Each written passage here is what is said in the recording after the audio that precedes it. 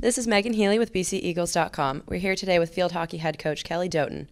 With four games left in the regular season, what's your primary focus the next two weeks before the ACC championship? Uh, just keep getting better. You know, um, it was a tough weekend. You know, I, again, I don't think we played our best against UNH. They played very well. I think one of their best games that they had all season. And then going into uh, BU, again, what I told the girls is it's going to be a tough match. You know, energy is going to be needed for 70 minutes. And, you know, we went into overtime. You know, we had goal scoring opportunities, they had some goal scoring opportunities. And it's just really unfortunate that we didn't get the win there. But, you know, these last four games are important. We're in a do or die situation now. You know, these guys have aspirations to, to make it to the playoffs and make it to the NCAA tournament. And, you know, these four games are going to be critical. And, there's nothing easy about any of these four teams. You know, you got Wake on on Friday, who, um, you know, they're always tough. Any ACC opponent is going to give us a run for our money, and you know, I think. Um, you know, our non-conference schedule has has provided a couple hiccups for us, and you know, again, I, I've said it before, and I'll say it again: is that every non-conference team that comes in to play us wants to beat us really bad. You know, that's it's it's um, you know, again, it, it was a tough weekend, and um, but now we're on to Wake. What do you think has been the difference between home and road results this year?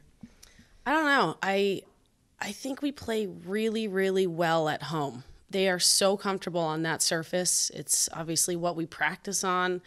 Um, you know, in the past, we've always done really well. We've played well at home, and this year, I don't know why you know we're one and two against non-conference teams and we're away you know i think we're four and two or something on the road and you know with the acc as well but i'm not i don't know. I, I would like to think that they would choose to play at home over you know on the road but it's not saying that we're playing terribly it's just that the results aren't there. You know we've been fixing the things that we've needed to fix it's just you know we just haven't been able to put the ball in the back of the cage and haven't uh, been able to keep them out of our defensive circle. We we're, we're giving up way too many defensive corners, you know, and against good teams, they're going to have a really good attack battery, and we can't give them those goal scoring opportunities. And you know, I think uh, hopefully um, on Friday they're gonna we're gonna have the result that we want, and that's going to be because we played that game at home.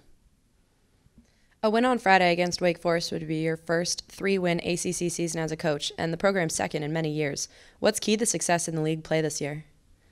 I don't, I'm not thinking about that. I don't. I I don't even know. Um, you know, we prepare these guys regardless who we play the same way. Um, you know, it's their responsibility to make sure that their bodies are ready to go and mentally and physically they're ready to go. I don't know. I don't. You know, the record it speaks for itself, I guess. But you know, whether it makes history or not, I don't really care. At the end of the day, I just want to win, and um, you know, I'm looking forward to the opportunity. I know these guys will too.